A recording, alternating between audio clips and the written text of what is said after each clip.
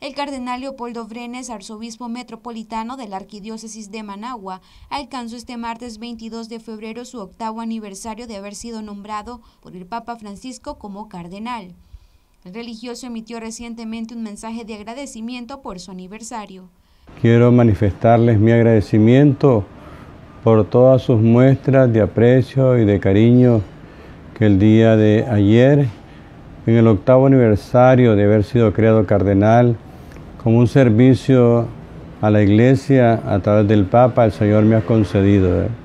Gracias por sus oraciones, que son muestras siempre de afecto y muestras de cariño.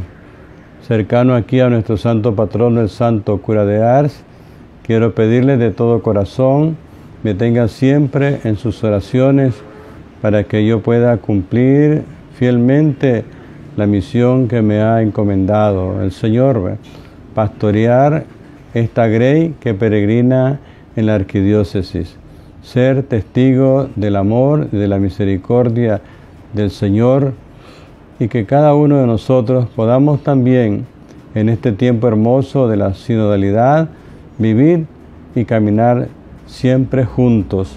Y de esta forma dar testimonio de esta iglesia que es una iglesia santa, que es una iglesia única y que es una iglesia católica, que es una iglesia en salida. Gracias pues de todo corazón, ténganme siempre en sus oraciones y cuenten humildemente con las mías. Monseñor Brenes tiene 72 años y fue ordenado como sacerdote en 1974 y en el 2005 el Papa Juan Pablo II lo nombró arzobispo de Managua. El 22 de febrero del 2014 el Papa Francisco nombró oficialmente a Monseñor Brenes como el nuevo cardenal de Nicaragua. Para Noticias 12, Gabriela Solórzano.